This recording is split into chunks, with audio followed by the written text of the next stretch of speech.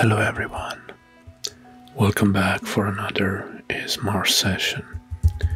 And for today, we're gonna discuss and discover 12 of the greatest warriors and military commanders from the mm-hmm. past.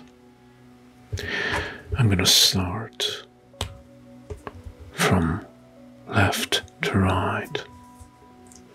And first in our list is Alexander the Great. Alexander Sander the Great. Or in Greek it's Megas Alexandros.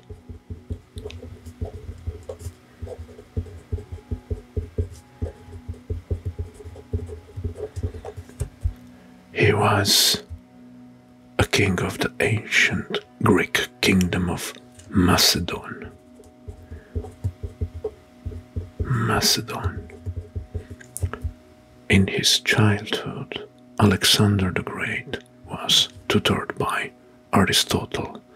From the age of 20, he spent most of his ruling years conducting a lengthy military campaign through Western Asia. By the age of 13, he had created one of the largest empires in history, stretching from Greece to northwest India. The great city of Alexandria in Egypt is named in his honor and was founded by him. He is regarded in history as the only conqueror who never lost a battle.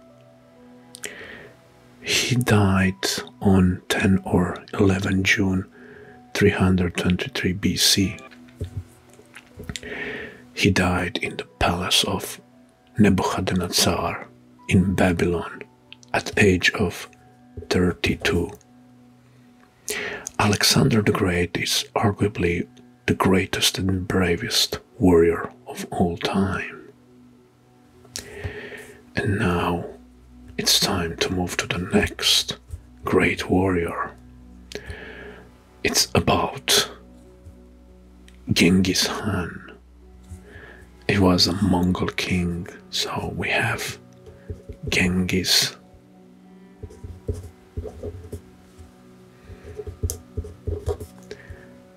Khan.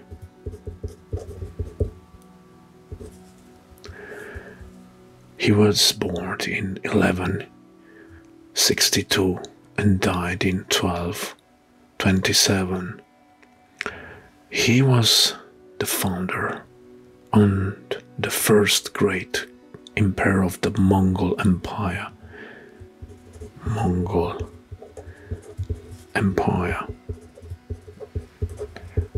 Known also as the Tatar Empire. Tatar Empire, which became the largest contiguous empire in history after his death in 1227. During his teenage, rival clans abducted both he and his wife, and Genghis Khan spent also time as a slave before he dared to escape, despite by his early 20s, he became himself a formidable warrior and leader. His exceptional military success made one of the most important conquerors of all time. Unlike many empire builders, Genghis Khan embraced the diversity of new conquered territories. He passed laws declaring religious freedom for all and even granted tax exemption to place of worship. And here is a curious fact.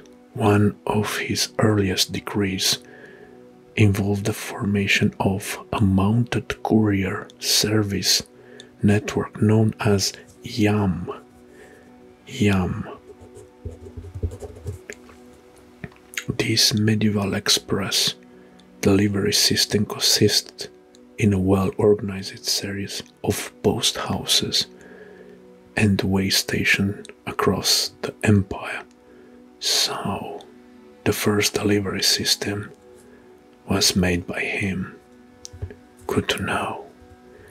Okay, now let's move to the next. The next was a warrior and army leader, and it's Leonidas one of Sparta. Leonidas. Of Sparta.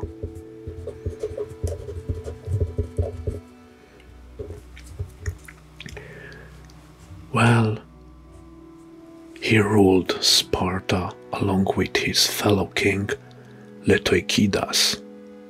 Leotychidas was the second uh, king of Sparta because Sparta always had two kings.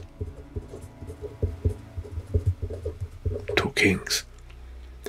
Sparta itself had a tradition of training young boys into warriors Leonidas of Sparta was accompanied by 300 hoplites, 300 hoplites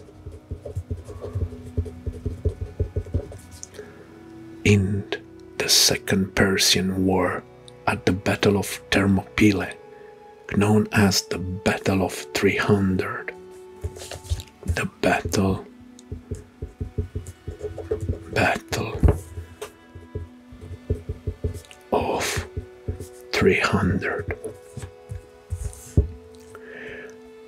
Their action immortalized Leonidas, whose bravery was a necessity to prevent the invading Persians. According to Pausanias, Sparta it was where the remains of the legendary king Leonidas were transferred and buried after the Battle of Thermopylae where was his also was killed. The tomb of Leonidas is the only preserved monument in ancient Agora. Good. Now it's time to move to the next warrior in our list. It's about King Richard or Richard the Lionheart. So we have Richard the Lionheart.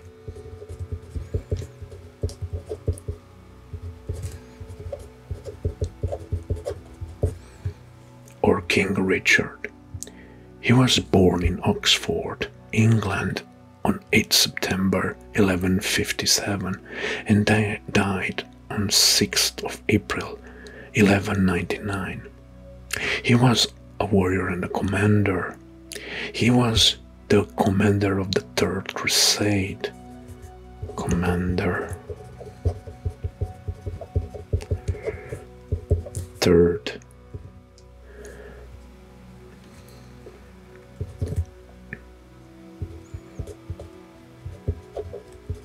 Crusade. King Richard's rule in England is largely composed of funding the Crusades his one true goal was to conquer the Jerusalem. He tried to depose his own father, King Henry, three times. Alright, now let's move to the second row. And here we have Vlad the Impaler.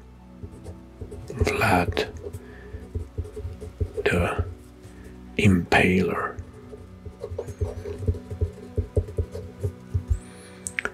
The King of Wallachia, which is now a province from Romania.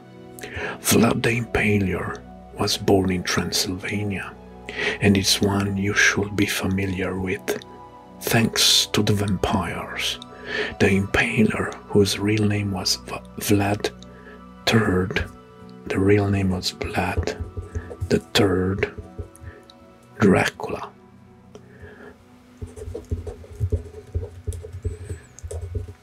Or in Romanian, it's Vlad Tzepes. Was born in Transylvania as the Prince of Wallachia.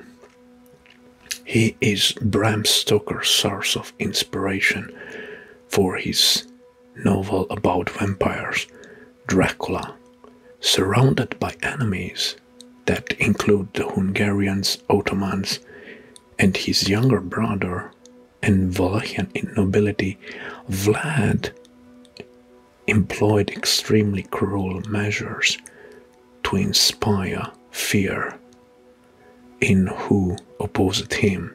He earned this nickname by impaling his enemies on stakes to ensure his throne. Vlad tortured his enemies on stake in the ground, impaling them alive. He favored this torture for local and foreign enemies alike. Well, Bram Stoker's Dracula is said to mimic Vlad the Impaler's nature. He was cruel and bloody despite being a very talented ruler and a great warrior, and managed to withhold the strength of the Ottoman Empire by opposing the Ottoman empires and defeating in the Ottoman armies in a few battles. By some estimates, he is responsible for the death of more than 80,000 people in his lifetime, a large percent of them by impalement. Now, let's move next. We're gonna talk about Attila the Hun. Attila the Hun.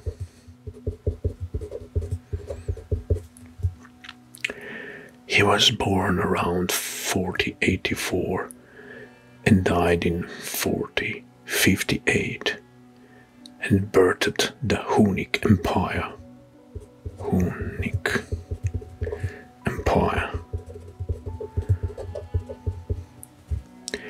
Attila was known to Romans for his brutality, forsaking and pillaging Roman cities. Once Attila rose to power, the first step was to negotiate a treaty with Eastern Roman Empire, in which Emperor Theodosius II agreed to pay 700 pounds of gold as an annually promise of peace.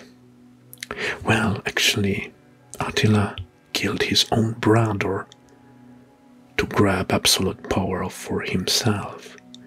He invaded Gaul region just to win himself a wife. He died horribly on his wedding night with the latest bride Ildiko. Attila had suffered a bad nosebleed while lying down and choked himself to the death with his own blood. Some believed he was poisoned by his own new bride, named Ildiko. Very, very interesting. Now, let's move to the next one in our list.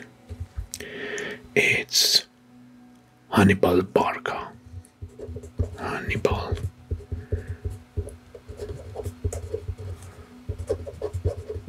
Barca. He was one of the greatest warriors and leaders of Carthaginian forces, fought bravely against Rome during the Second Punic War. Second Punic War. He took command of the army when was 25 years old and he fought in Spain and Gaul. After he marched his massive army across Pyrenees and Alps into central Italy, in what will be remembered as one of the most famous campaigns in history against the Romans. During, during the Italian campaign, Hannibal rode an elephant through the swamp of Arno and lost the sight on his right eye from what was probably ophthalmia. He became a one-eyed general. That's are some interesting facts about Hannibal. Now it's time to move next. And we have here Saladin. Saladin. Saladin is the Western name of Salah al-Din Yusuf ibn Ayyub. Salah al-Din Yusuf ibn Ayub. That's the real entire name. It was he was a Muslim sultan of Egypt and Syria who famously defeated a massive army of crusaders in the Battle of Hattin. Hattin and captured the city of Jerusalem. Jerusalem in 1187. Saladin achieved his success by unifying the Muslim from Egypt and Arabia to brook a potent mix of warfare and the promise of the Holy War. He was the famous Muslim hero and a military tactician. Saladin's reconquest of Jerusalem in 1187 promoted Pope Gregory VII to organize the Third Crusade. Well, between 1189 and 1192, he, Saladin, lost Acre and Jaffa and was defeated in the field at Arsuf. The Crusader retreated to Europe without seizing Jerusalem, but Saladin's military reputation has been damaged. He died in 1193. 1193.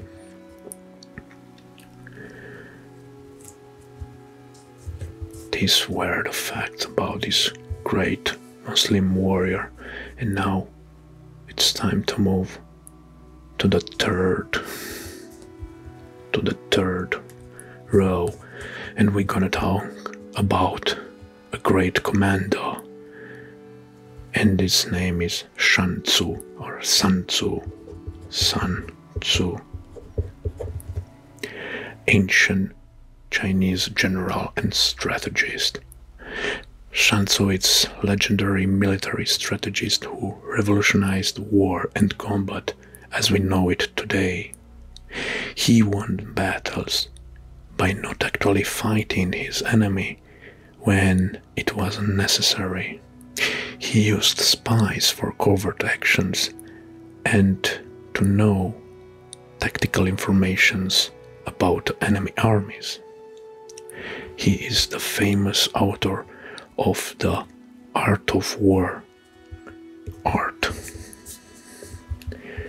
Art of War.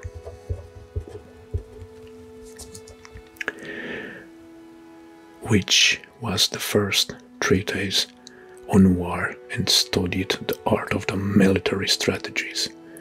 Shan Tzu served under the Wu state as a general and military tactician around 7070 and 40 for 476.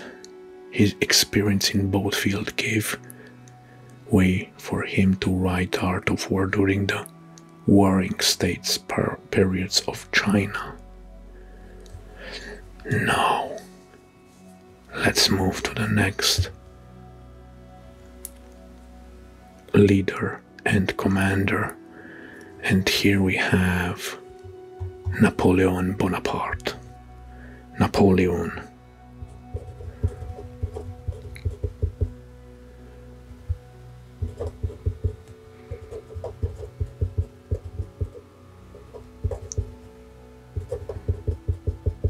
Napoleon Bonaparte.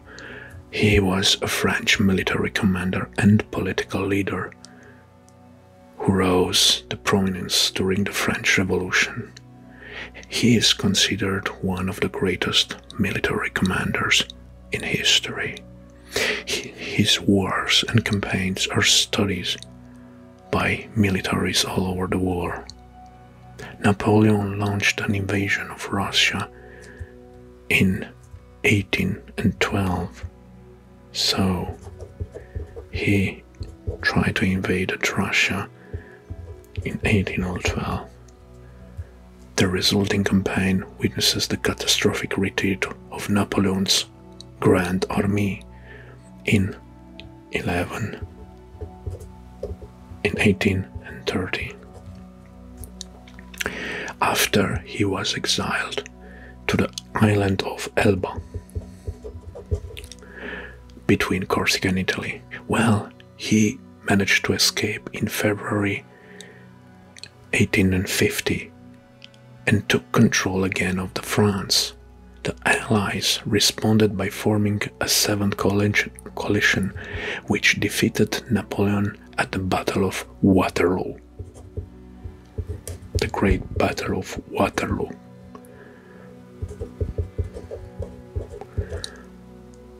In 1815, the British exiled him to a remote island of Saint Helena in the Atlantic, where he died at the age of 51 in 1821.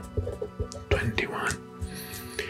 These are the curious facts about Napoleon Bonaparte.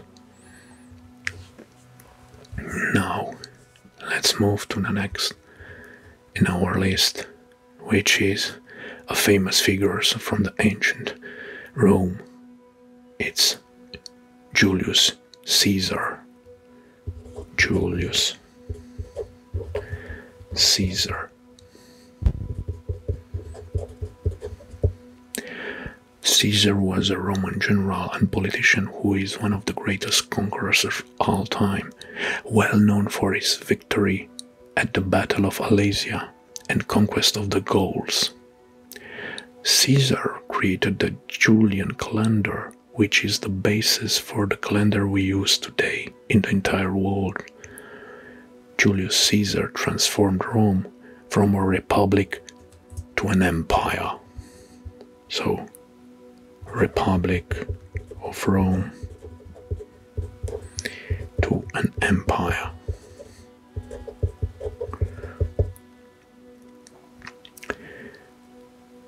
Some scholars consider him a tyrant, citing his forceful takeover of Rome and bullying his way to power. Well, actually, Julius Caesar was the first dictator because he named himself dictator of the Roman Empire, a rule that lasted less than one year be before he was famously assassinated by political rivals in the Rome Senate. Rome Senate in 44 BC. I came, I saw, I conquered, or Veni Vidi Vici, probably the best known Latin phrase that is can accurately be attributed to Caesar. To Caesar. He wrote Veni Vidi Vici after he conquered the Gauls. Now it's time to move to the last in our list, but not least. And we're gonna talk about George Washington.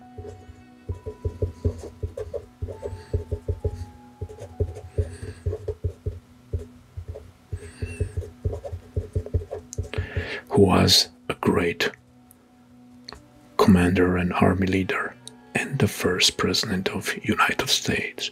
George Washington was born at Pope's Creek in 1732. He is one of the founding father and the first president of United States between 1789 1789 and 1797. He was a fearless leader in battle and lead the Patriot forces or Continental American Army in the American Revolutionary War known as American Independence War. Washington's bold action saved American Revolution twice. Well, a least known fact is Washington loved parties and the company of women, and he was the first person to, to sign the first United States Constitution. He was anonymously elected president twice. And he was the only slave owning president who freed all his slaves after he became the president of the United States. And with this we have finished this session of uh, presenting some of the great figures of warriors and military commanders from our history. I hope you enjoyed this video and if you enjoyed, please hit the subscribe button or give a like. And if I missed something or you have some other thoughts about, please leave a comment below. I want to know your opinion. Thank you very much for watching, and we will see next time. Bye bye.